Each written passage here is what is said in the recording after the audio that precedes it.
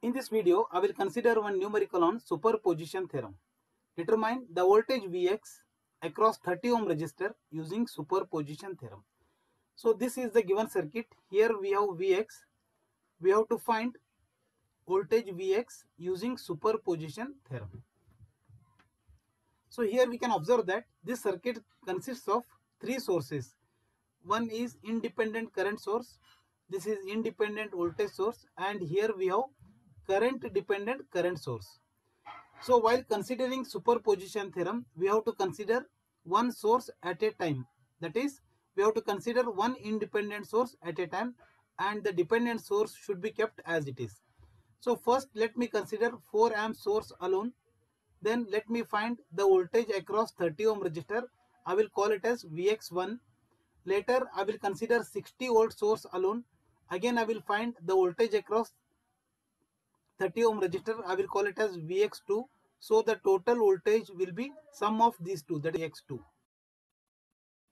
so let me consider 4 amp source alone. So if we consider 4 amp source alone 60 volt source should be short circuited. So let me short circuit the 60 volt source. Here there was a 60 volt source I will short circuit. So now I will find the voltage across 30 ohm resistor I will call it as Vx1 so let me simplify this circuit. So here we have three loops. So in this loop, current is 4 amp. Let me assume current in this loop is X. Let current in this loop is Y. And let current in this loop is Z. So anyhow here, current X is equal to 4 amp. And current Z is nothing but 0.4 ix 0.4 ix and here we can see ix is the current which flows through 20 ohm resistor which is nothing but x minus y. That is x minus y. That is ix will be equal to x value is 4 minus y. Let me call it as equation 1 so now let me apply kvl to this loop. Here i can So apply KVL to loop Y that is apply KVL to loop Y. So here there is no any voltage sources 0 is equal to voltage across 10 ohm is 10 Y. So here voltage across 30 ohm resistor is 30 we have Y plus Z plus voltage across 20 ohm resistor is 20 Y minus X let me simplify. 0 is equal to it is 10y plus we have 30y plus 30z plus we have 20y minus 20x or is further 0 is equal to so we have 10y 30y plus 20y is 60y plus we have 30z minus 20x so x is nothing but 4 amp that is 20 into 4 further I can simplify this as this is 80 I will take 80 on left hand side. 80 is equal to we have 60y plus 30z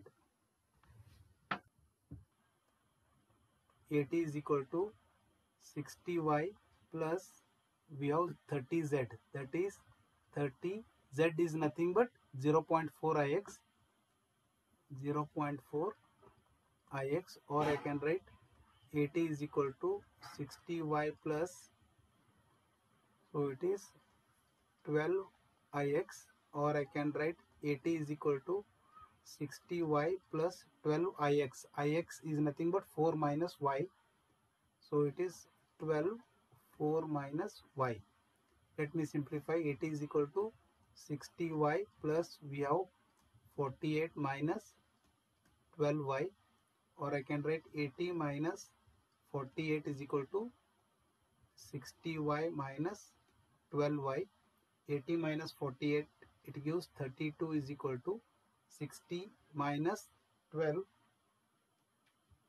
it gives 48y so therefore y is equal to 32 divided by 48 so it gives 0. 667 amp. Therefore, now we can write ix is equal to 4 minus y that is 4 minus y or ix is equal to that is 4 minus 0 0.667 3.333 amps so therefore now I can write Vx1 is equal to we have 30 y plus z. That is 30 into y plus z. Or we can write Vx1 is equal to 30 in bracket. Y value is 0 0.667 plus z. So z is nothing but 0 0.4 ix that is 0 0.4 into 3.333 so simplifying this we'll get Vx1 is equal to use Vx1 is equal to 60 volts. So Vx1 is the voltage across 30 ohm resistor considering 4 amp source alone. So now similarly in this circuit I will consider 60 volt source alone and I will open 4 amp source. Let me draw the circuit. So now let me consider 60 volt source alone so voltage across 30 ohm resistor, I will call it as Vx2. So let's calculate Vx2. I will assume current through this loop is say X, current through this loop is say Y. So here Y is nothing but 0.4 Ix that is Y is equal to 0.4 Ix. We can see here Ix is nothing but minus X. Ix and X are opposite to each other. I can write y is equal to minus 0.4 x. So now let me apply KVL to this loop. So 60 is equal to voltage across 30 ohm resistor is 30 that is x plus y x plus y plus we have voltage across 20 ohm is 20x plus voltage across 10 ohm is 10x. Let me simplify this. 60 is equal to we have 30x plus 30y plus 20x plus 30x 10x or I can write 60 is equal to we have 30 plus 20 plus 10 that is 60x plus 30y or I can write 60 is equal to 60x plus 30 y is nothing but minus 0.4 x or I can write 60 is equal to we have 60x 30 into minus 0.4 that is minus 12x or 60 is equal to we have 48x therefore I can write x is equal to 60 divided by 48 so solving this it gives 1.25 amps. Now let me calculate vx2 so therefore therefore vx2 is equal to that is 30x